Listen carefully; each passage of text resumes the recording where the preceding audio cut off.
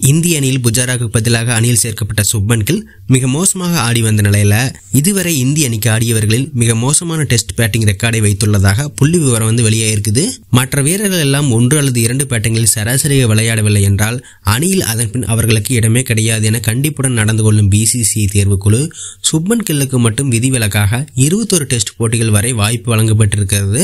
Shubman Gill England test தொடருக்கு முன் நடந்த தென்னாப்பிரிக்க டெஸ்ட் தொடரில் சரியாக ரன் குவிக்கவில்லை.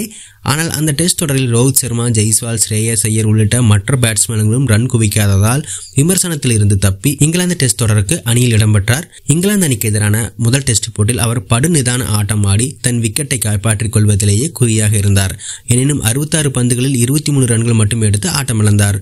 மீண்டும் அவர் டெஸ்ட் பந்தில் சொதப்பி இருப்பது விமர்சனத்தை கிளப்பியுள்ளது.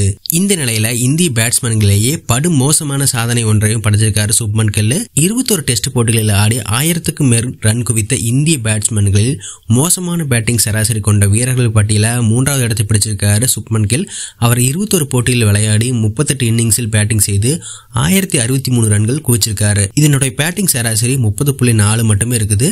இந்த பட்டியலில் முதல் இடத்துல சேத்தன் சௌஹான் இருபத்தெட்டு புள்ளி ஏழு பேட்டிங் சராசரியில் இருக்காரு. அதுக்கு அடுத்தது ஃபரூக் இன்ஜினியர் இருபத்தி ஒன்பது புள்ளி அஞ்சு பேட்டிங் சராசரியோட இருக்காரு. நான்காவது இடத்துல கிருஷ்ணமாச்சாரி ஸ்ரீகாந்த் முப்பத்தொன்னு புள்ளி ரெண்டு பேட்டிங் சராசரியில் இருக்காரு.